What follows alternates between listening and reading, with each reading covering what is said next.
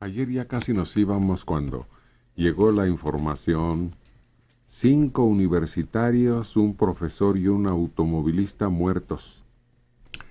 Y los heridos son alrededor de 20, tres de ellos graves. Y algunos pues fueron atendidos y se mandaron bajo su responsabilidad a su casa. En la carretera México-Toluca, en Ocoyoacac, alumnos, eran 36 en total, y tres profesores de economía. Iban a una práctica a Michoacán, y luego el conductor de un tráiler de doble remolque que transportaba 20 toneladas de trigo, imagínate, chocar con 30 toneladas.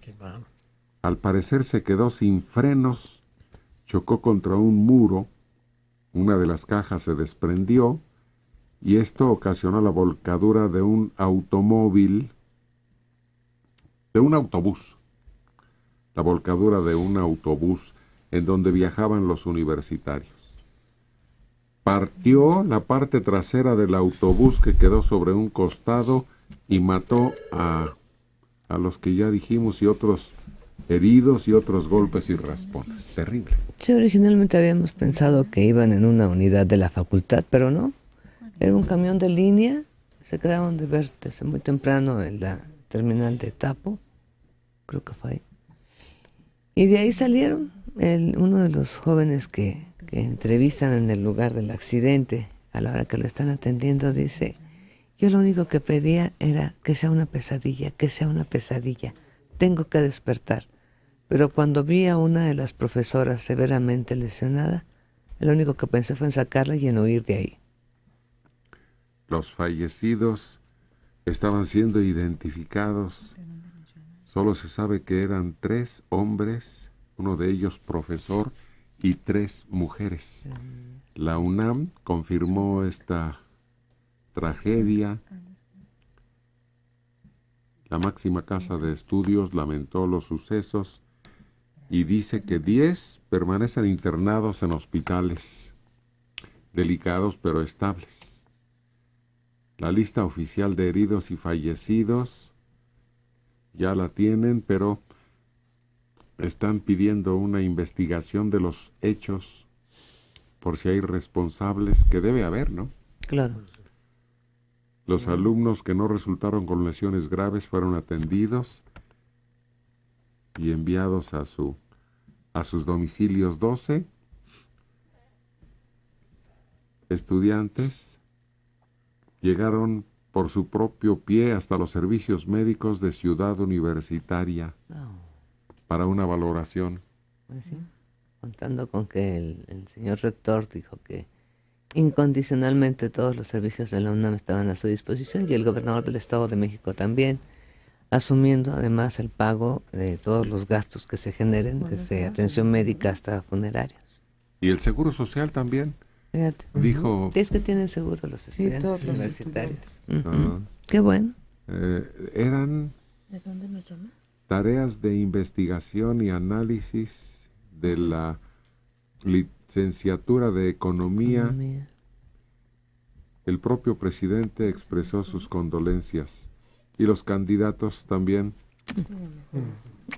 expresaron sus dolores y sentimientos. Lo último que recuerdan algunos es el golpanazo, el ruido y luego examinarse.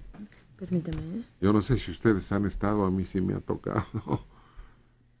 A ver dónde te duele, a ver dónde estás sangrando. Y de repente es caliente, ¿no? A ver, permítame. El, el golpe o la herida y no lo percibes. Pero a la hora que viene ya el, el enfriamiento, vamos a llamarle así, Sí. tomas conciencia. Es el- a la hora del impacto es ruido, son vueltas, es giro, es desubicación. Y después es el silencio total y, y tú dices, eh, eh, lo caliente el golpe, pues, revisarte a ver si no te falta nada y si vas con alguien, ¿están bien? ¿Dónde estás? Fulano, perengano. A tu Es terrible, alrededor. terrible, terrible. Sí, ya una vez que tú sientes que puedes movilizarte, preguntas por los demás, Sí. te preocupas por los otros. Sí, sí, sí. Y hay quien fíjate, tiene esa capacidad de levantarse eh, en un accidente brutal que hubo hace muchos años en Puebla.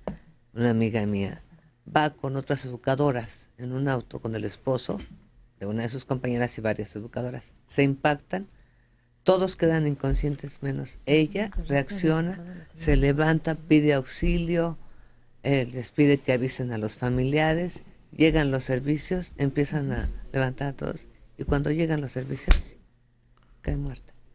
Ah, con heridas internas. Esas son gravísimas porque hay una lesión o una hemorragia ¿Sí? interna y, y efectivamente al principio no te das cuenta, pero en unos minutos. En minutos. Aquí nos llegó el caso de un señor que transportaba naranjas en un camión, lo detienen unos policías, algo hubo allí, un choque, una cosa así. Dicen que no tiene nada y a las horas o al poco tiempo el señor fallece, porque lo habían revisado que no tenía nada, superficialmente. superficialmente, Por y se eso murió. estos están Sí. acudiendo a sus servicios médicos universitarios Sí. para una revisión y constatar. Minuciosa. Minuciosa, placas, eh, gabinete, lo que haga falta. Pero si tienen todos esos servicios ahorita a su disposición y la comunidad universitaria está interesada en llegar hasta las últimas consecuencias, que lo aprovechen.